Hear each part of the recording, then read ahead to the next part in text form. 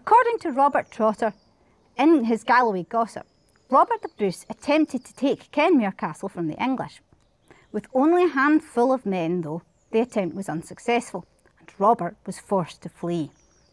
He fled through the Rawdings and over the hill via Fintloch, then by waterside to the Fairy Now, until he finally found himself in Burskeach, where the forest was dense and the trees were tall.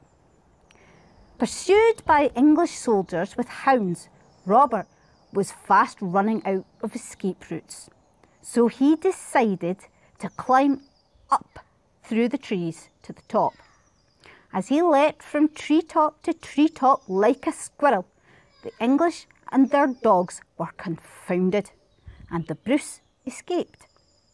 Later, when his reign was secure, Robert gave Kenmure Castle to the Douglas family for their services to him during the Wars of Independence.